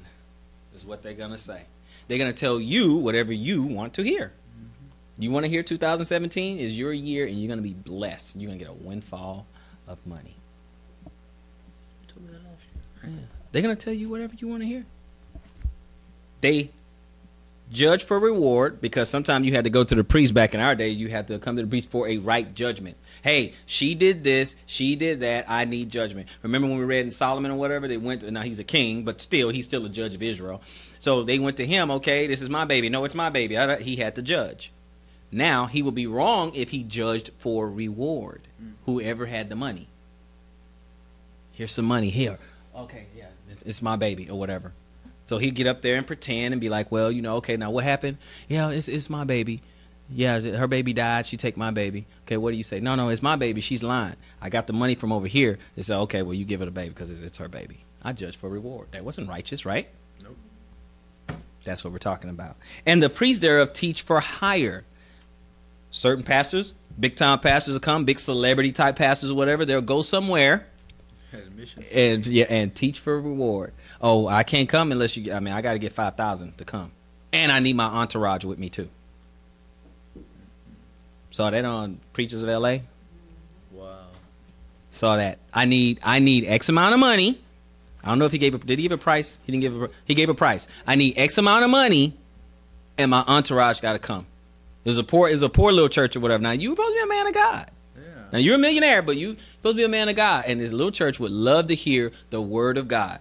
He said, "I cannot come unless I get X amount of money, and my entourage needs to be with me." Is the scripture not coming alive? It's happening right in front of you. Okay? And their preach thereof teach for hire, and the prophets thereof divine for money. These are the one who give all these promises and all this other stuff as long as you send a donation. Call the number at the bottom of your screen. Yet, will they lean upon the lot and they say, Is not the Lord among us? I'm a blessed man. Look how much I got. Look at my house. Look at my car. Everybody know my children by the car they drive. They know they with me by the kind of car they drive. Scripture's coming alive right in front of your face. Can't make this stuff up. I used to say this stuff and then I had to go and I'd have to show it to you so she didn't think I was making it up. I had to show. I would just tell her, and then I'll say, no, no, no, come look at this. Come look at this, so she can see that it wasn't me making stories up. I had to do that. Did I? Did I have to do that? I had to do that. I had to. I'm like, look, look at this. Look at this. Look at this. Felt like that one of the. I felt like that Kevin Hart meme. Look, look, look, look at this. Look at this. You look, look at look, look at this. Look at this. Look at this. I had to do that. I had to do that. I had to. Let me read a little bit more for you guys while you go to uh, First Timothy uh, your way to First Timothy, I'm gonna go. I'm gonna read a little bit more some catechism. It says Mary. There are many false doctrines concerning Mary found in Roman Catholicism. That's what that's what I I, I wrote that. I wrote there are many false doctrines found because in the catechism it's not going to say there's false doctrine out there. So, so I said that there's many false doctrines. Okay, but here's a few right here. A, because uh, Mary. This is about Mary. This is Mary is a mediatrix, the co-mediator. She's the go-between. I know you guys heard that. Okay, she's the go between. Okay, in 969. Therefore, the Blessed Virgin, she's no longer a virgin, people. Okay, therefore, and it's not a problem. Oh yeah, yeah, she had a, got, got a couple of kids. Okay, she's not a virgin anymore. But anyway, because she's the perpetual virgin of again tradition just because they say it is therefore the blessed virgin is invoked in the church under the title of advocate helper benefactress and mediatrix okay she they give her all these titles. They were big on titles, weren't they? They give her all these titles, and she is a perpetual virgin, and she pleads our cause. That's why you do Hail Marys and stuff. That's why you talk to her, and that's why you pray to her, so she can go to Jesus, and Jesus can go to the Father and, and plead your case. That's it. And they go, well, and you know, I, I had a conversation with someone. I said, you know, and and they were actually was a former Catholic, but do you ever really break away? Um, was a former Catholic, and the only thing I said, I said, man, it just seems like they do a lot of pray to work. I said, you know, for the amount of prayer that goes towards Mary, I said the Bible doesn't really say a whole lot about her. No disrespect, but I'm just saying there's not that many passages about specifically Mary. And she's like, well, but she's still the mother of God. I'm like, okay. Okay, but I, I, knew I couldn't get anywhere after that. I'm just like, okay. Anyway, so Mary brings us the gifts of eternal salvation. Okay, in the catechisms, you know, uh, 969. Taken up to heaven, She did not lay aside this saving office, but by her manifold intercession continues to bring us the gifts of eternal salvation. So she's responsible for giving us salvation as, as well. By her manifold intercessions, intercession, stepping in for somebody else, intercession, continues to bring us the gifts of eternal salvation, is what it says. See, Mary delivers souls from the dead in the Catechism in, in 960, uh, 966. You, Mary, conceive the living God, and by your prayers will deliver our souls from death. So Mary delivers our souls from death. Okay, let me just say this. This might be a little bold. She didn't save herself. Yeah, it might be out there, a little bold and everything. But not only is Mary still dead, no disrespect to her, but she is still in the grave. That's all I'm saying. She returned to the dust. Is that an insult? That's just what happened. No insult, no shade, just that's what happened. She is not mediating for us. She is not the co-redemptrix for us. It's just, that's, that's just not how it works, people. It's not what the Bible says. Tradition. You're listening to more tradition. First Peter. I mean Timothy. First Timothy 2. Okay? She's the co-mediator. Ah. First Timothy 2. Give me uh, verse 5, brother. Verse 5. For there is one God Mhm. and one mediator between God and men. And is Mary? No, the man Christ Jesus. Oh, okay. So it's one mediator between God and man. One mediator between the Father and us. So who you should you who should you be dealing with? Jesus. Christ. You need to be dealing with the Messiah. The one who paid the tab. The advocate. You're a lawyer in the court of God. That's who you need to be talking to. We got to get this, people. We got to get this. Now, go to Ecclesiastes 9, and while you go there, I'm going to read something else for you. And I hope you guys are getting something out of all this. Okay. Prayers to the saints. Uh, CCC 2677. 2677. It says, By asking Mary to pray for us, we acknowledge ourselves to be poor sinners and we address ourselves to the Mother of Mercy, the All Holy One. We give ourselves we give ourselves over to her now in the today of our lives, and our trust broadens further already at the present moment to surrender the hour of our death wholly to her care. Now, if you ask a Catholic, do they worship Mary? They're gonna say no. What is this? Cate- these catechisms are putting a whole lot of weight on Mary. But they say now, if you ask, you just go out there and you ask them, "Do you guys worship Mary?" They're gonna say, "No, we don't worship Mary. We don't worship Mary, you know." I mean, we pray to her so she can take our prayers and you know present them to Jesus or present them to God, and all, but I mean, we don't we don't worship her. I mean, nothing, you know. No, no, we don't do that. Yeah, yeah. She has her own, yeah, her own prayer and stuff, and yeah, the statue. Yeah, I mean, we we, we don't pray pray to her. You know, her statue's like right there. You know, oh, oh my church. No, we but we don't worship her. No disrespect to Mary, but she is not the co-mediator because Scripture says there's only one mediator. So what am I lying or something? Am I throwing shade? No, I'm telling you what the Scripture says. One mediator, one person is propitiation for our sins. One mediator between the Father and us. No one goes unto me. I mean, no one comes unto the Father except through me. That's what it says, right? Yep. Didn't say ask my mama first. didn't didn't say that. I'm just saying. If you find a scripture where it says that, let me know. Even Jesus was even Jesus rebuked the, the people who said your mother and your brother are looking for you. hmm When they came, and I know exactly what you're talking about. They came and say, "Hey, hey, hey, they looking for you." They signal, and he goes, well, "Who's my mother and who's my brother?" They that keep, that does the will of my Father, it is He that is my mother and my brother. And that was his mom and his blood brother asking for him, and he's like, "Nah." You know, not that they did anything wrong, but he uses everything as a teachable moment. That's really all it, what it is. You know, they didn't do nothing wrong. Mary didn't do anything wrong. His brothers didn't do anything wrong. But it's a teachable moment. Say, no, no, no, no. Your real brothers and sisters are the ones who wants to obey like you, who follow the Father like you. That's your real brothers and sisters. Okay. So Ecclesiastes nine. Did I put? Did I give you that? No, not yet. Okay. Ecclesiastes 9.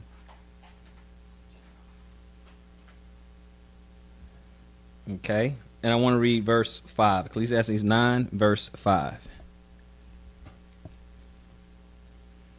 Okay. And when you get that, brother, let the Bible speak.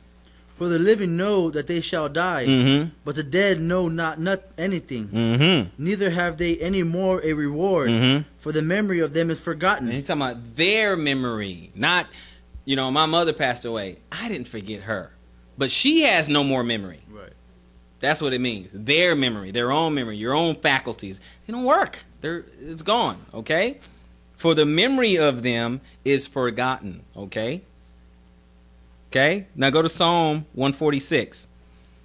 For the living uh, go go ahead and continue. Go ahead. Also, their love and their hatred and their envy is now perished. Mhm. Neither have they any more a portion forever in anything that is done under the sun. Look at that. No no emotions, no nothing. Read that part again that you just read. Read that again. Also, their love and their hatred and their envy is now perished. Love, hatred, envy, all that gone. No emotions, no nothing. So you you you know ha- have you guys noticed when someone per uh, well in the Bible when someone perishes and then they are resurrected and come back they don't say anything. They don't. No one asks how was your trip to heaven or purgatory So why'd you bring me back? or hell. they don't say anything. And you can find an account or two where someone died and was resurrected and said nothing. So it stands up to the scripture that says the dead know not anything. Nope. So it makes sense. They Come on. If you believe that there's a heaven and you see someone die, Lazarus was dead for 3 days. Now you already believe that we go to heaven, right? This dude was in heaven for 3 days cuz that's what you believe. You're not going to ask him? Or if you don't ask him, he's not going to say, "Why you bring me back here?" I hit the finish line. I was in heaven. What are you doing? I don't want to come back here. But they don't say anything. No one asks, they don't say anything. I just want you guys to think about that for a minute. I want you to think about that for hell, purgatory, and heaven. That's what I want you to consider that. Nobody says anything or ask them anything about hell, heaven, or purgatory. What was it like? What happened? You've been dead for three days. Silence. Or when they wake up, oh man, let me tell you about heaven. nothing. It's nothing. So the scripture still jives that they don't know nothing and you return to the dust. Correct. Okay. That's that's that's all I'm saying. So when you go out there and you hear these new doctrines, you got something to hold on. You're like, well, it still don't make sense. Still, that, that, that doesn't explain, right? Mm-hmm. Okay. So go to Psalm 146, brother. Psalm 146.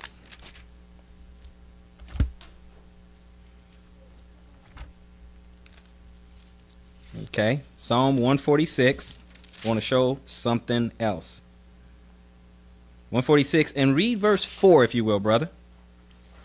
His breath goeth forth. Okay. He returneth to the earth, to his Mhm. earth, Mhm. and that every day his thoughts perish. In the very day his Oh, thoughts perish. day.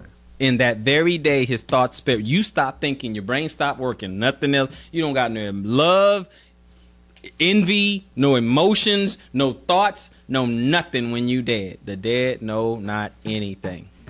I mean, that's what it says. I'm just giving you what it says. And in that very day his thoughts perish. One last place over here. Acts 2, brother. Acts 2. And I don't know. I, I really don't know any other way to put it when I, how how Acts two give it to you. I, I don't know how to put it. I, I really don't. I really don't.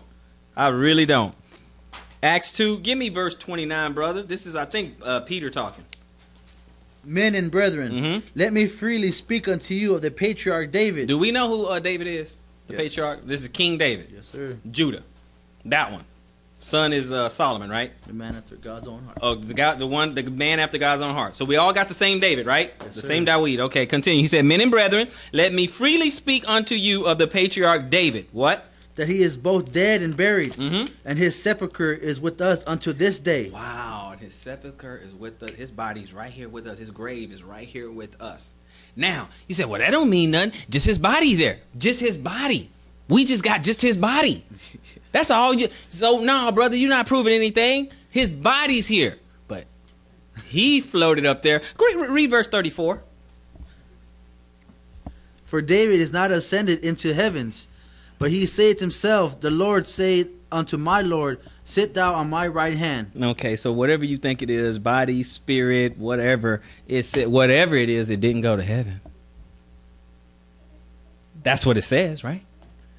For David is not ascended into heaven, and we know what ascended is. If you go to Acts, we see Christ ascending into heaven. So I don't care if you think it's a spirit body, soul body, whatever you think it is, it didn't go to heaven.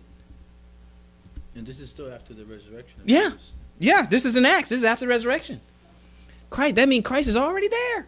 He's already went back. Yeah, because they say, oh, the people like Lazarus, they say Lazarus didn't go to heaven because Jesus hadn't died yet and Mhm. made a way. Exactly. Yet, After the ascension, yeah, David's still. the David didn't go.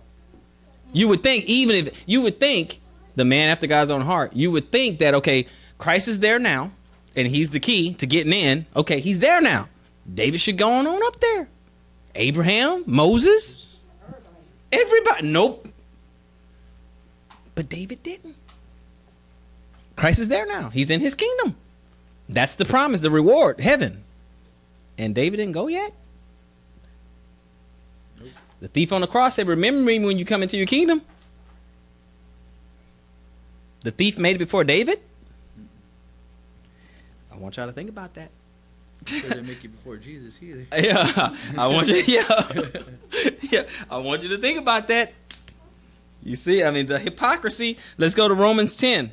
Okay, Romans ten. Now, I was taught we dealt primarily with you know uh, the Catholic Church and everything. Now we're gonna deal with Protestantism, okay? Because that's where Martin Luther came. He, you can call him the first Protestant because he's the first one to protest with his ninety-five theses, right? I mean, that would be fair to say that, right? Yep. He's the first Protestant, the first person to protest the Roman Catholic Church. The first Lutheran Protestant. Ex- there you go. so that's what it is. So all these Protestants are really, since they were birthed from the Roman Catholic Church, whatever flavor they call themselves, you could put Catholic in front of it. They're Catholic Baptists and Catholic Lutherans and Catholic Protestants. They're Catholic non-denominational. So the They're, daughters of a- they are the daughters. That's what I'm trying to say in short. Yeah. They're the daughters. They're Catholic Seven Day Adventists. They're Catholic. Where did you Where did you get your doctrine from? Rome. Okay. One of the old doctrines. You don't hear people say it a lot. I mean, many people still believe it, but you don't hear them say it a lot. And that's one saved, always saved. Okay. Let's see what the uh, Let's see what the Bible says about some of this stuff. Okay. Okay. So Romans ten. And give me uh, verse 9, if you will, brother. Verse 9. Romans 10, verse 9. Okay? Because we always got to examine where we fall off the rails in this stuff. So, Romans 10, verse 9. Go ahead, brother. That if thou shalt confess with thy mouth the Lord Jesus, Mhm. and shalt believe in thine heart that God hath raised him from the dead, Mhm. thou shalt be saved. Okay, so we're talking about being saved. Now, go to uh, verse 13, brother. Verse 13. Mm-hmm. Verse 13. For whosoever shall call upon the name of the Lord shall be saved. Continue. How then shall they call on him in whom they have not believed? Mm And how shall they believe in him of whom they have not heard? hmm. Mm hmm. And how shall they hear without a preacher? So, you do need a preacher. How are you going to know? You need a preacher to help guide you. That's it. Just guiding you through the scripture to help it make sense. Okay? Continue, brother. and how shall they preach except they be sent? Got to be somebody sent. Go ahead. As it is written, How beautiful are the feet of them that preach the gospel of peace Mhm. and bring glad tidings of good things. Mm hmm. Go ahead. But they have not all obeyed the gospel. mm-hmm. For Isaiah saith, Lord, who hath believed our report? Okay, not everybody's going to believe that report. Trust me, I've been doing this for a couple of years, and guess what? Not everybody believe. I'm reading it right out of the Bible, and they still don't believe me. Still don't believe it. They, they still not everyone's going to believe this report. Okay, you tell someone, and they're supposed to be believers. They can be a Christian. Okay, I'm talking about Protestants now. Okay, they can be a Christian, and I can say, okay, you need to obey God. No, we don't have to do that. They won't be, believe the report. You better put some. Uh, you got faith, faith, faith, faith, and you preaching grace, grace, grace, grace. You better come on with some obedience, some repentance and obedience to go along with that. No, no, no. You know, by implication, that means you can be disobedient. Yeah. You know, that's what you're saying. You're saying you can just do whatever you want. We're going to continue. Go to Matthew 24, brother. Go to Matthew 24. Okay. He was talking about, this is Christ talking about the last days with 70 AD being uh, uh, uh, kicking it all off. Okay. It's been going crazy ever since. So, Matthew 24, go to verse 11, brother. Matthew 24 and verse 11.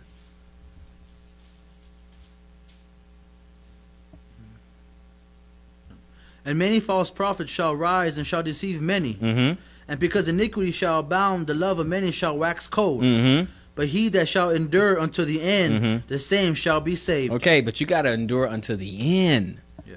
Endure until the end, until you die. They gave you that caveat. Endure until the end. Okay, that's what you got to do. The same shall be saved. The one who endures to the not do it for a little while. Yeah, this is not working out, and, and fall victim to their own emotions because things doesn't seem to be working out, and walk away. Who have tasted the goodness, and then you just walk away. So the opposite should be true too.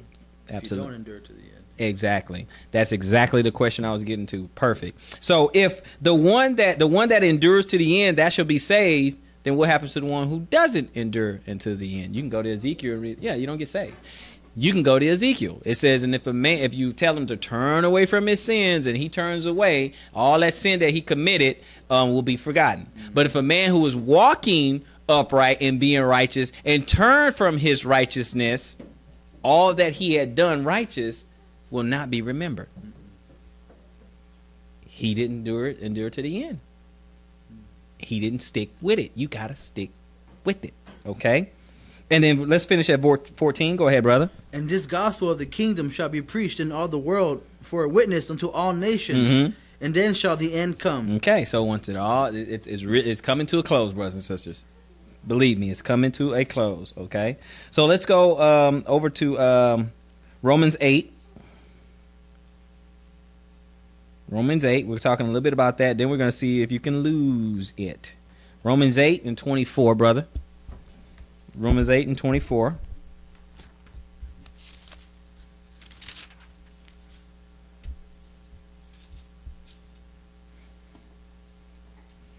Romans 8 and 24. And when you get to uh, 24, let the Bible speak.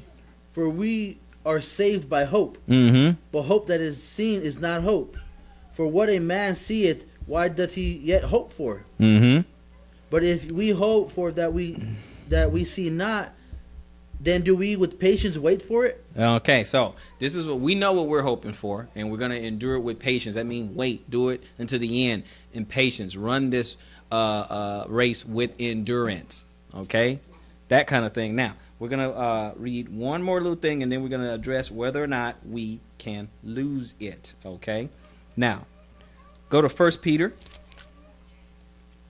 Okay, go to First Peter and one. First Peter and one. We're gonna deal with it a little bit more. Lay the foundation. We know what we're hoping for. We know about salvation and all that other stuff. But then we're gonna see if you can actually lose it. Okay, see if the scripture says that that you can lose it. Okay, so First Peter one. Okay. And when you get there, brother, start at verse three. First Peter one, verse three. Blessed be the God and Father of our Lord Jesus Christ, Mhm. which according to his abundant mercy Mhm. hath begotten us again unto a lively hope by the resurrection of Jesus Christ from the dead, Uh huh. to an inheritance incorruptible and undefiled, and that fadeth not away, Mm-hmm. reserved in heaven for you, Mm-hmm. who are kept by the power of God through faith until salvation, Mhm. ready to be revealed in the last time. Right. He said, "It's reserved in heaven for you. Behold, I come quickly, and my reward is with me." Okay, go ahead, brother. Wherein ye greatly rejoice, though now for a season, if need be, ye are in heaviness through manifold temptation. Mm-hmm. We go. You go through it. That means you go through it. Okay. You're gonna have issues. You're gonna have manyfold temptations. Go ahead, brother. that the trial of your faith, being Mhm. much more precious than of gold Mhm. that perisheth, though it be tried with fire, Mhm. might be found unto praise and honor and glory at the appearing of Jesus Christ, Which is what we're waiting for. Go ahead. Whom having not seen ye love, Mm-hmm. and whom ye, in whom though now ye see him not, yet believing ye rejoice with unspeakable and full of glory. Yes, sir. Go with joy unspeakable and full of glory, Mm-hmm. receiving the end of your faith, Mm-hmm. even the salvation of your souls. Yes, sir. Go ahead. of which salvation the prophets have inquired and searched diligently, who prophesied of the grace that should come unto you. See, they even they prophesied of this salvation. Okay, even the prophets prophesied of this salvation. We know he's talking about the prophets because one, he said the prophets, and two, what did they teach from?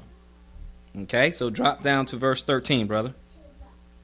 Wherefore gird up the loins of your mind, Mhm. be sober, Mm-hmm. and hope to the end of your grace, Uh-huh. the grace that is to be brought unto you at the revelation of Jesus Christ. There you go. So now we're talking about now you know what you're hoping for, okay? You're hoping for his appearance. You're hoping for that he calls your name. You're hoping that you come out of that grave. You're hoping you get that new body. You hoping you get eternal life. You're hoping you get into the kingdom. You you know what you're hoping for. Okay? Right? You know what you're hoping for. So, let's go to uh 1 Corinthians 9. Okay? Now, would would some people say that all in all, Paul was a pretty good guy? Pretty good guy. You know, started off kind of rough, you know, you know, making havoc of the church and all this other stuff, but then he converted, right? So all in all, pretty good guy, right? So look at First uh, Corinthians nine. Okay, First Corinthians nine, and read one verse. Read verse twenty-seven for me, brother, if you don't mind. Let's look at this. Verse twenty-seven. But I keep under my body Mhm. and bring it into subject subjection, Mm-hmm. lest that by any means, when I have preached to others, Mhm. I myself should be a castaway. Wait, wait, wait, wait, wait, wait, wait. If you're one save, always save, why is he worrying about being a castaway? That he don't get this? The very gifts that he was telling us about? Paul. Now, none of us are going to say we're more righteous than Paul, right? I mean, I'm not going to say I'm more righteous than Paul. But he just said that he's going to keep his body into subjection. So we're talking about some obedience and we're talking about some behavior and bring uh, uh, keep under my body and bring it into subjection, lest by any means that when I have preached unto others, I myself should be a castaway, that I might be cut off, that I might not make it, that I may not make it unto the end. In other words, be a hypocrite. Yeah, I be a hypocrite. Yeah, I'm preaching this to you, and then I just, you know, I gotta do what I want to do. I'll be cast away. Why? Why? Why is a guy who i- who is at least righteous to righteous enough to have his letters put in the Bible? Why is he worrying about being a castaway? Because he knows his law. Yeah, because he knows how it works. We got to think about that stuff. The reason why I emphasize this point, brothers and sisters, because I want to arm you. So when somebody else come whispering in your ear, telling you some seducing doctrine, you have something. You be like, oh, that doesn't sound right. Right? That's what. That's that's why I bring. That's why I drive it home this way. So now let's go to um, Second Peter and two. Okay, we got to get this. Second Peter and two. We got to get this. We got to get this, and then we'll move on. Second Peter and two. Okay, and then I want to start wrapping it up in a second, but Second Peter and two.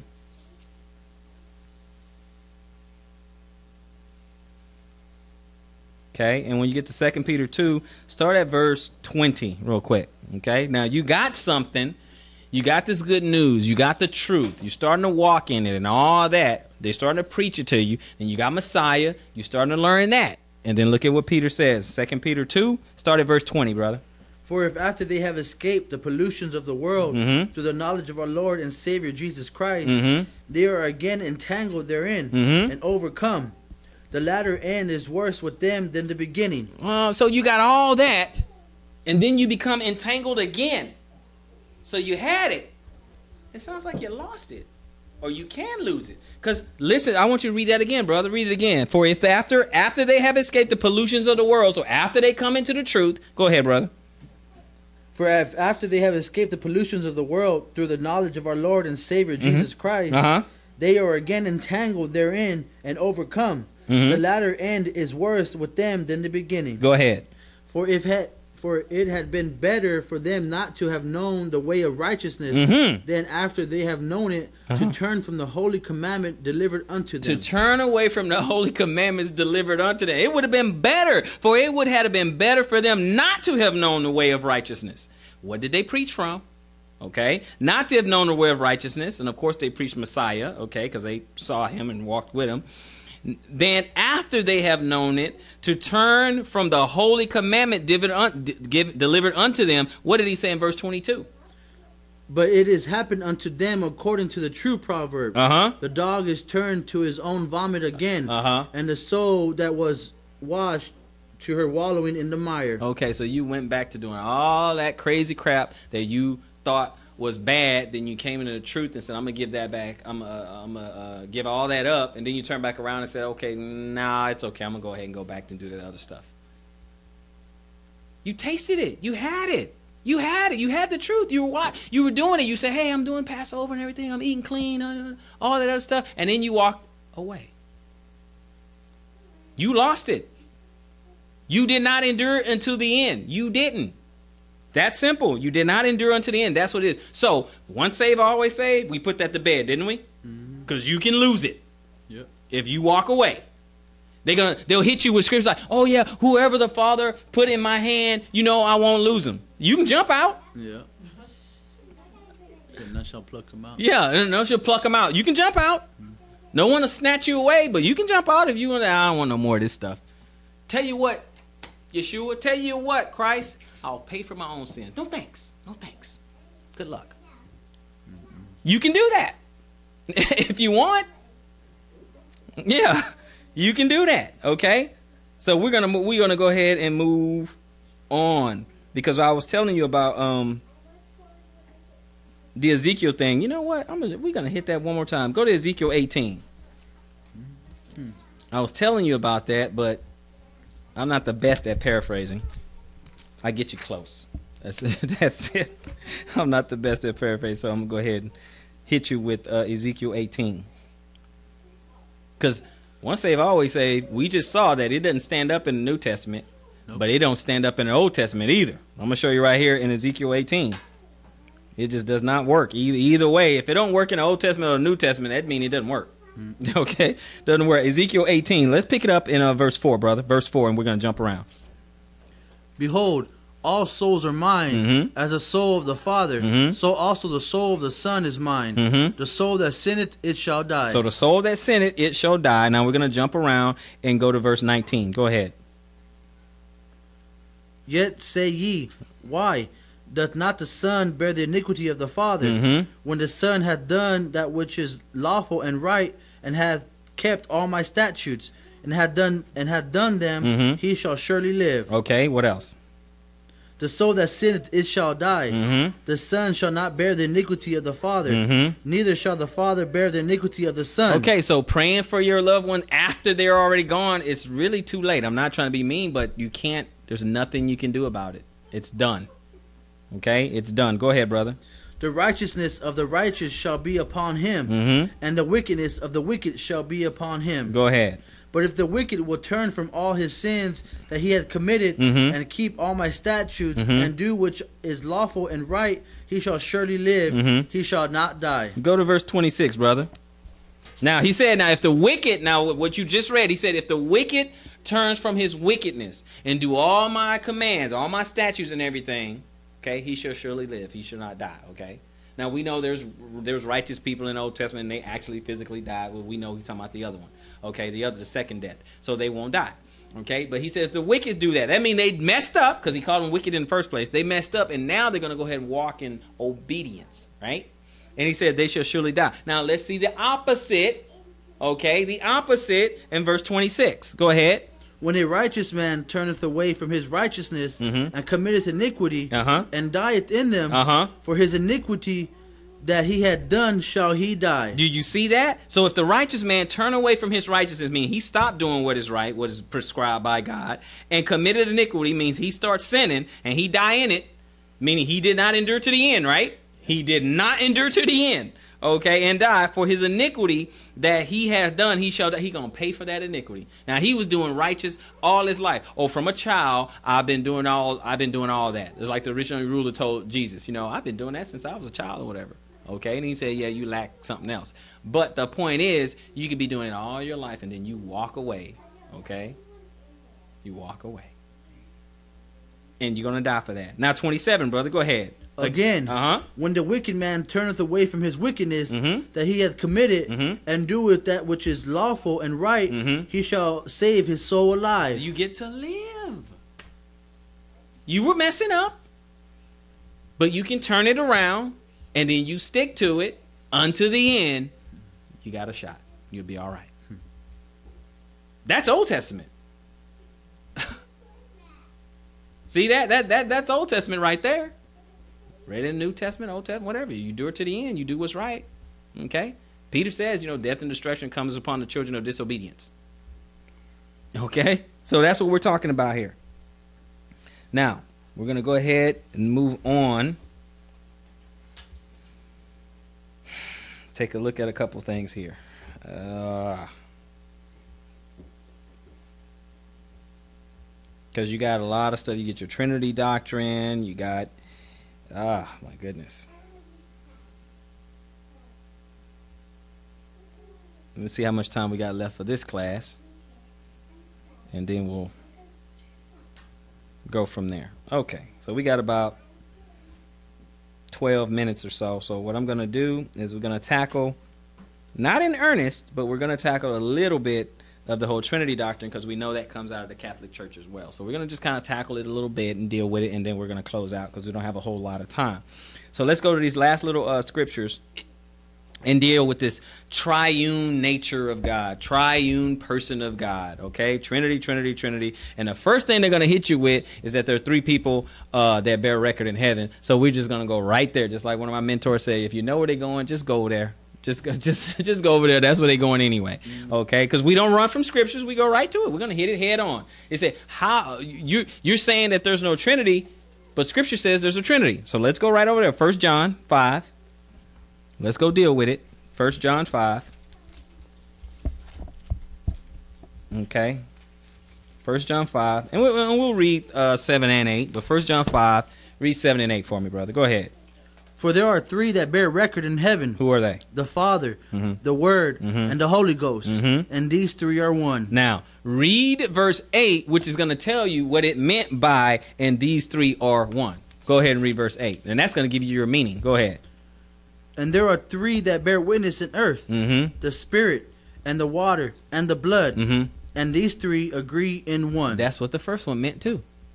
These three agree. Not these three are the same. They agree. Okay? The Father and Son have a meeting, talk things out, let the Holy Ghost know what's going on, and they agree they're in one accord. Does that at least make sense? They're in one accord. That's all that means. Okay, so it says we got three that bears record. Now watch this. That is no that's nothing more than protocol. Go to Revelation 1, brother. Let's go to Revelation 1. That's nothing more than protocol. That's how things work, okay? Now, Revelation 1, and pick it up at verse 1. We're going to read the first two verses. Go ahead, brother. the revelation of Jesus Christ, Mhm. Which God gave unto him Mhm. to shew unto his servants things which must shortly come Now, to pass. now we got two already. It says the revelation of Jesus Christ, 1, which God gave to him, 2. Go ahead, brother. To show unto to show him. unto his servants things which must shortly come to pass. and what did he do? And he sent and signified it by his angel unto his servant So John. he sent and signified by his angel. So we got Christ, we got the Father, we got an angel, and we look at First John five, and it says there's three in heaven that bear record. What does verse two say? who bear record of the word of God and of the testimony of Jesus Christ Uh-huh. and of all things that he saw. Okay, so they agree in one. They got the same story, right? Right. They bear record. That's it. They bear witness. They bear record. They agree. They're on the same accord. They're on one page. That's what it means. Okay, so you got three people bearing record. So I, I address the three people if you ask me. Okay, that bear record. Okay, so we know. And them say, wait, wait, wait, wait. You talking about the Holy Ghost, Holy Ghost? Holy Ghost, Holy Spirit, the same thing. Angels are spirits, yes or no? Yes. God is a spirit, yes or no? So you ain't you're not saying nothing that's all woo. The devil's Okay. spirit too. Yeah, E- e- even the devil is a, the, the devil's a spirit, right? Yeah, he's just not holy, but he's a spirit too. So we're not saying woo, like okay, yeah, okay, big deal. He's a, he's a spirit. Holy Ghost, spirit, same thing. That's it. That that that's it. So we know in Genesis, um, when it says um, Genesis one twenty six, it says, "Let us." More than one. Okay.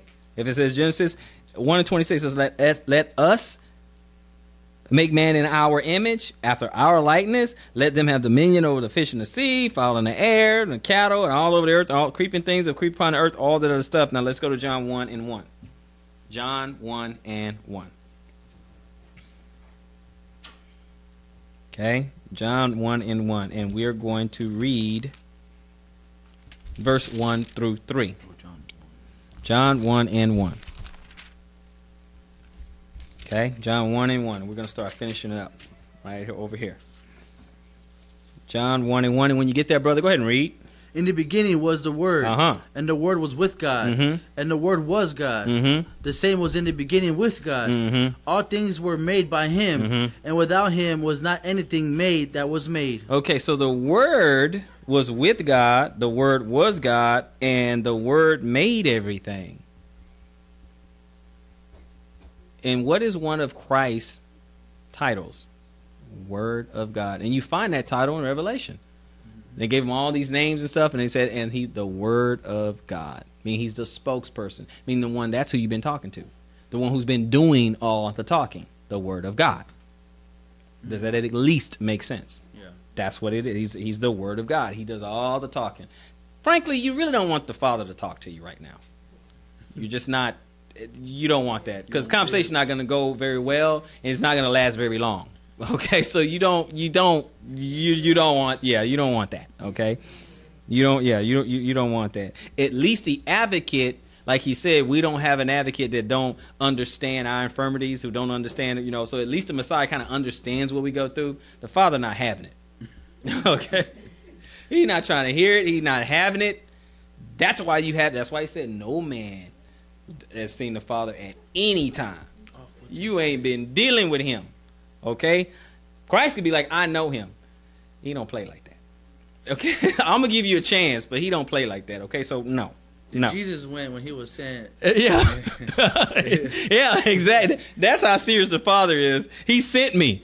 Well, why'd you? Because he sent me. That's, That's- why I came. that's He enough sent, me. he sent me. That's why. Um, but this is see, the Father does give orders. Okay, he does. So go go to Psalm one ten and one. Okay, go to Psalm one ten and one.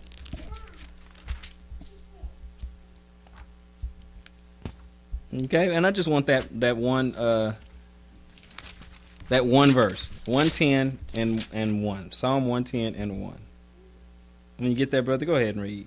The Lord said unto my Lord, Mm-hmm. Sit thou at my right hand, Mhm. until I make thine enemies a footstool. That's, that sounds like an order, huh? He didn't ask him all nicey nicey. He just just sit there till it's time. So if he tells the son to sit, son sits. If you send the son, say go, the son goes. Seems like that's the same thing with the Holy Spirit too, huh? And the Father will send him in my name, and he won't speak of himself, but only what he have seen and what he was told always a protocol. Always a protocol. We got to think about things like that because it's there for a reason.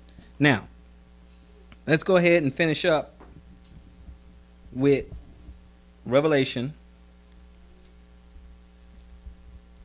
You know what? We're gonna let me see how much time I got if I can get these last one, two, three scriptures. They have enough for eh, there's four, but there's four, but we're gonna go to the last three. It's gonna be all in Revelation, so it'll be easy to find. Go to Revelation 22. Okay, Revelation 22. And while you guys go there, I'll read Colossians 3 and 1, which says, If ye then be risen with Christ, seek those things which are above, where Christ sitteth on the right hand of God. Christ sitteth on the right hand of the Father. So we got two right there. Okay, so Christ sitteth on the right hand This is a mirror. of God. Yeah, there you go. Yeah, yeah. Unless there's this big mirror right there, it's just like, yeah, I'm God. Looking good, God.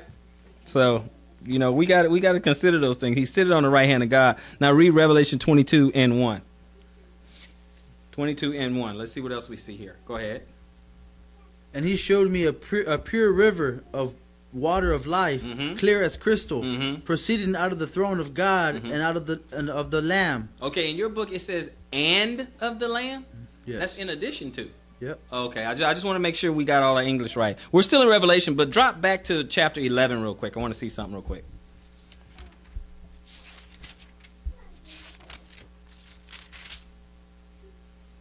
Okay, read verse 15 for me, brother. Revelation 11 and 15.